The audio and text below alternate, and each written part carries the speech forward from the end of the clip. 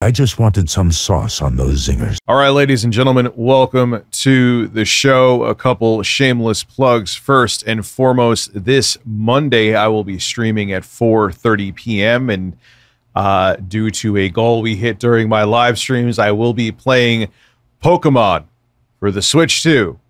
I don't remember the name of the Pokemon game, but I already bought it and I'm going to be suffering through it and I really don't want to play it, but my audience wants me to, so there it is. I'll have a link to that stream below in the description. It's scheduled. Hope to see you there to watch me be aggravated. And also, too, I have an ASMR channel called Tech 25 ASMR, and I have a video going live about 3 p.m. today, and I'll be talking about tech from my Christmas past throughout Christmas holidays. It's actually a fairly interesting video. And there's even some stories that I forgot about until making the video. So it's an interesting trip down memory lane and talking about all the technology that I have experienced throughout the years. Link to my ASMR channel below in the description and top pin comment. So, RAM prices. I've gotten a lot of requests to talk about this, and uh, the reason why I held off a little bit is I wanted to understand the story more. And I think the situation with this is way more grim and way more permanent than uh, some people have been letting on. I don't think this is just going to be, oh, RAM prices are going to be like when during COVID, when everyone was scalping everything and graphics cards were insanely expensive. And I think a lot of people are under the impression that this is what's going to happen here. All rich, there's going to be price hikes, and yeah, it may get crazy, but everything will come back down, right? Right? No, I think this is actually the beginning of the end where affordable, powerful computing from home is going to die out. And these AI data centers, even more than likely when the AI uh, bubble, the economic bubble bursts, they're going to go, hey, you want to edit videos? You just have to pay monthly and you won't have a computer at home that could natively edit those videos. I'm telling you that this this is where this is going. They're going to make home powerful computing unaffordable for anybody so you are beholden to them so you have to use apps through their services. Mark my damn words and it pisses me off.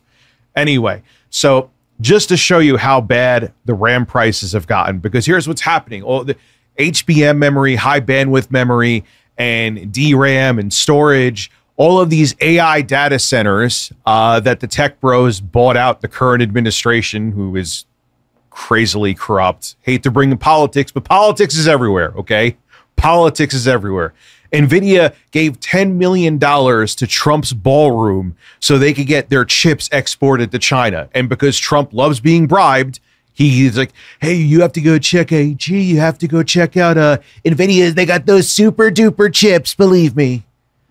It, that's literally what happened. So you have to wake up and realize that politics, maybe people who now wouldn't realize this stuff may pay attention because they can't get RAM for their new gaming PC. It's like the last thing you should be worrying about is, you know, oh, my entertainment products are going up in price. But it leads to a much more bigger, much more serious picture. And we're looking at it now. Look at these RAM prices, okay? This is Corsair Vengeance RGB. It's 32 gigabytes of DDR5, right? Okay.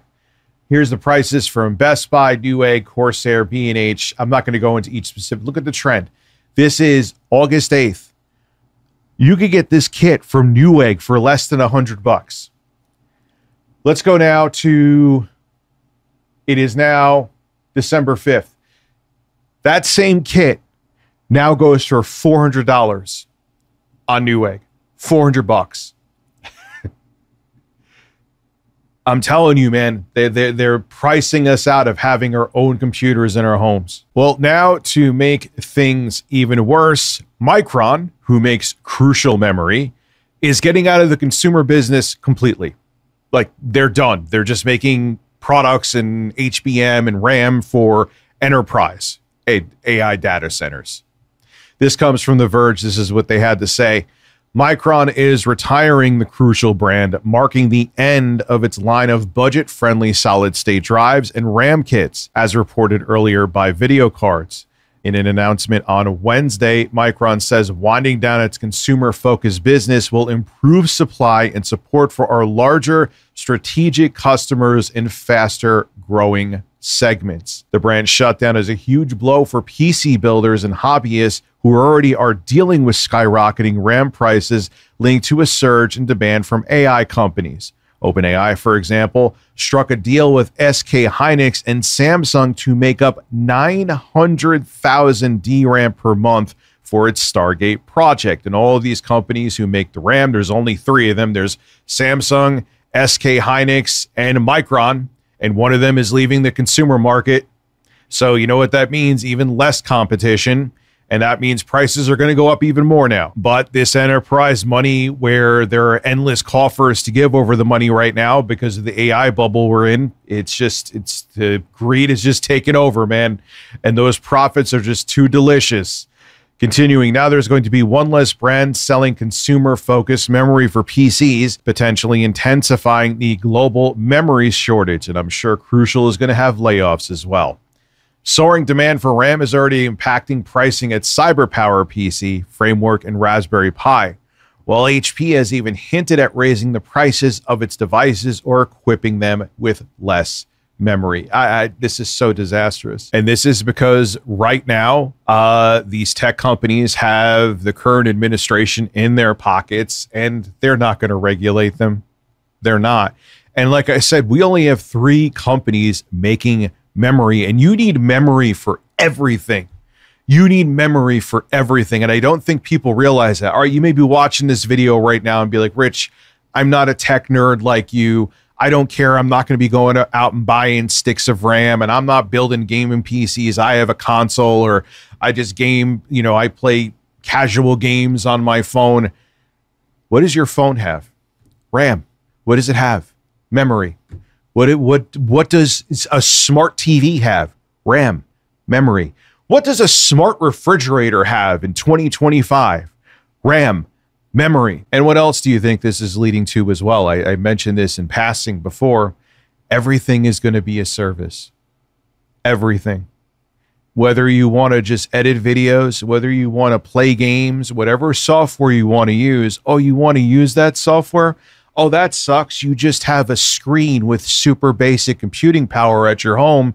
Guess you're going to have to sign up to one of our services where all the computing is done in the cloud and you have no computing power in your home and you are beholden to these big tech companies to do anything. That's where it's going to. And it was Gamers Nexus that said this too. Even when this AI bubble bursts, which it's barely an if, it's 99.9% a win. That's their backup goal with it. Oh, AI didn't, not everyone wants to make ridiculous videos. Not everyone wants an AI god, even though I think, unfortunately, we may be going down that route, not to get conspiratorial, but I don't even really think it's a conspiracy theory that they want to make an AI god. Uh, we'll just make him, we'll just make him sign up for everything, no matter what it is. We'll make him sign up for, oh, they want to use uh, video editing in the cloud. They want to get this app in the cloud. No native computing. So you have to get subscriptions for everything for the rest of your life. You will own nothing and be happy. And I think that is the long term purpose of this. Sounds nefarious, sounds dark, but it's very true. On a surface level note, if you're looking to get some kind of consumer electronics right now, now would be the time to do it because I don't see these prices coming down anytime soon. And unfortunately, I don't see them coming down at all. I hope I'm wrong, but the writing is on the wall. This is Rich Tomorrow signing out. Have a good one.